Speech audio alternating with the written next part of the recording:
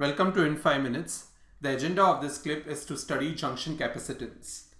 In the previous clip, we have already seen the lump representation of the parasitic MOSFET capacitance. In case we have not, then it's very simple. You draw the four terminals of the MOSFET and identify the capacitance between two of its terminals and see which all term which all capacitance are going to be important for you to look into.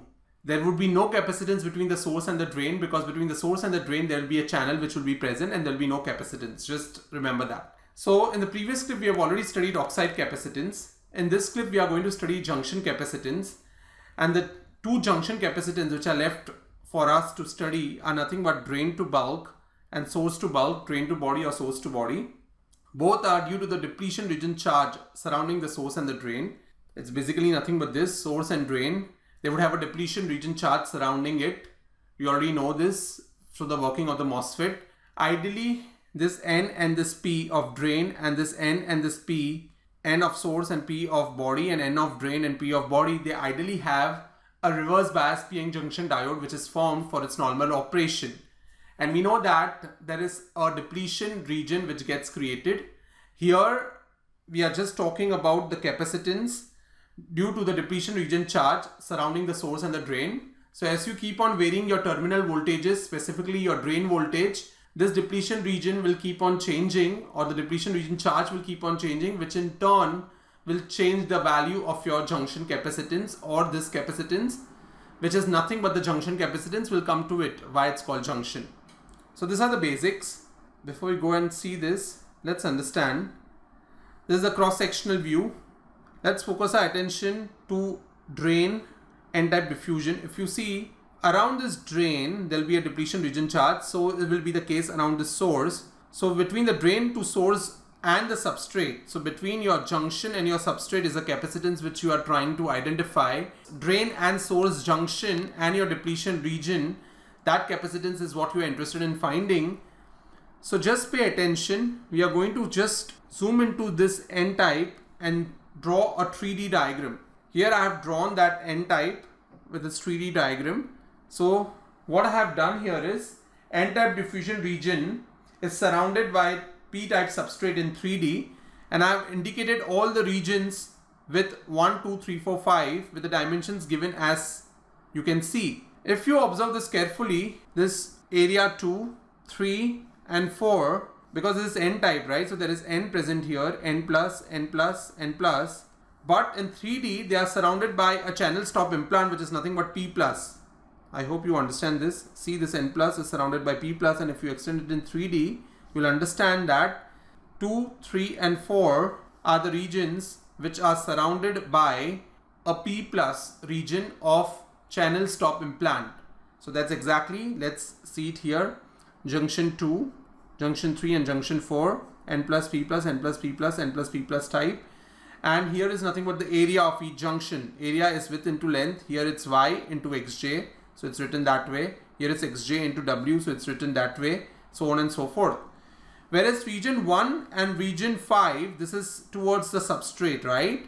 So this has p-type n plus type n plus because it's a diffusion and similarly 1 junction 1 also has n plus it's also facing the substrate so n plus and p correct? So the substrate we are assuming that the p type substrate has a doping density of Na but the p plus channel stop implant will have a doping density which is going to be 10 times Na now when we say this what's going to happen is that the sidewall capacitance this we can also call as sidewall capacitance for 2 3 and 4 they will technically have a different value from the other junction capacitance but for the time being we are not getting into that.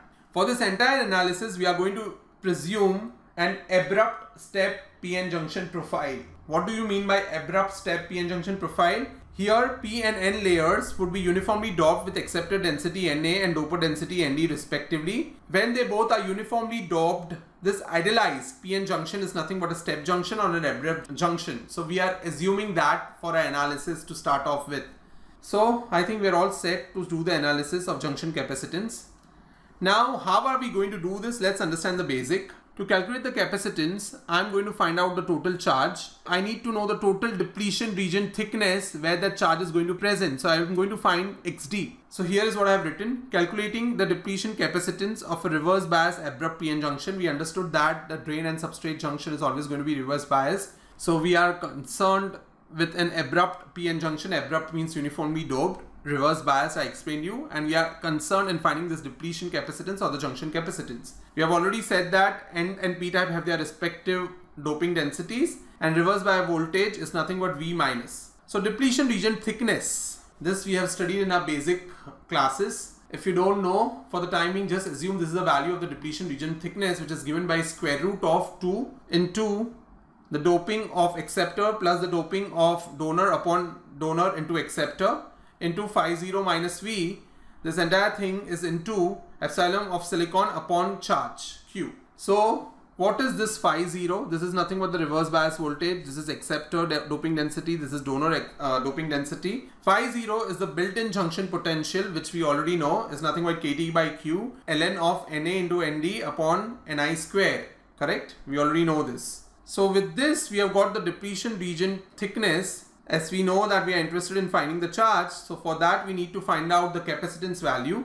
So depletion region charge stored in the junction can be written, depletion region charge, right? Can be written in terms of depletion region thickness.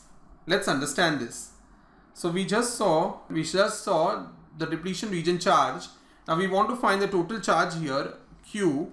It's going to be charge into the donor and acceptor present there. So it's Na into Nd upon Na plus Nd. We already know this. Into the total area where this charge is present. So this is into A. Into the junction thickness, correct? Depletion region thickness, I mean. So this will be into Xd. So this will give me the total charge, which I have written here. Qj junction charge is nothing but area. A stands for the junction area. Q I already explained. Na Nd upon Na plus Nd have we already discussed. And Xd is nothing but depletion region thickness because it's in 3D, right? So area into thickness, we are going to encounter the depletion region charge, which is nothing but A into XD. So let's put from here the value of XD here.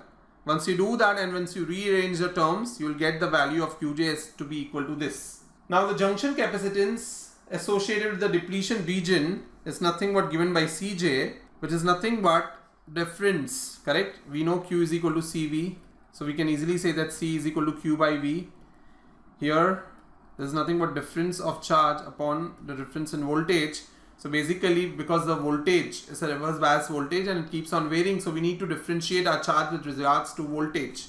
To differentiating with regards to the bias voltage, once we differentiate this equation, we'll get the following equation. It's a pure, simple, straightforward differentiation. Let's keep this and say this as equation 1 now we'll write this equation 1 in a more general format. This is the general format for equation 1 where our equation 1 currently was Cj of V equal to A into epsilon of silicon into Q upon 2 Na into Nd upon Na plus Nd into 1 upon square root of built-in potential minus the reverse bias voltage. I have written a general term for this A into Cj0 and Cj0 is nothing but this. I've just substituted that upon whatever was the term with reverse bias voltage and for uh, built-in potential where M is nothing but the grading coefficient and for an abrupt junction profile where we have uniformly doped acceptor and donor M is equal to half so you would get exactly the same equation which is seen here and for a linearly graded profile M is equal to 3 so you can keep on varying so the reason why we got this into the general format is if they give us the profile, the junction profile, we can use this general equation to calculate our junction capacitance. So here we got the zero bias junction capacitance per unit area. We got that. We substituted that into the general, I beg your pardon. Here we got the CJV. We found the general expression by putting CJO as nothing but junction capacitance per unit area. So with that, I got the value of my junction capacitance. To end this, we know that the side wall, the junctions 2, 3 and 4, here if you see again, junction 2, 3 and 4 had side wall capacitance because they were surrounded by the channel stop implant which was P plus so they will have the doping of 10 times Na let's call that doping as N of sidewall then the value of the sidewall junction capacitance exactly the same equation the only thing which changes here is nothing but the acceptor doping which is now changed to that of the sidewall. With that we made an attempt to understand junction capacitance though this is quite a complicated topic.